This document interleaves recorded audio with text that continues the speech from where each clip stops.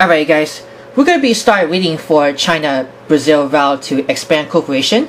Found this here for CGTN, which stands for China Global Television Network. Right behind the background, organized by Apex-Brasil, and right next to the Pátria Amada Brazil. And we're going to give you just scroll down for this paragraph. Here's what it says.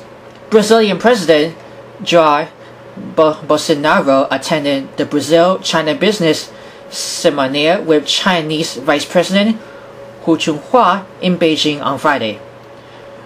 Bolsonaro is playing his first state visit to China from Thursday to Saturday.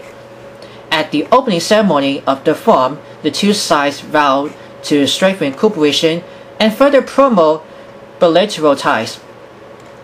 This year marks the 45th anniversary of the diplomatic ties between the two countries. In his speech, Hu spoke highly of China's relationship with Brazil, saying it has set a model of cooperation of major developing countries.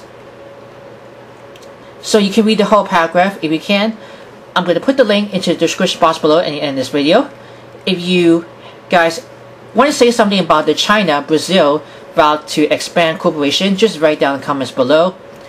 We'll always before sharing. Subscribe to my channel, Worldwide Campus News and Entertainment, and click the bell to see all the notifications about the new videos and the latest video. So stay tuned, we're going to be for Chinese President Xi Jinping sees a brighter future for China-Brazil cooperation.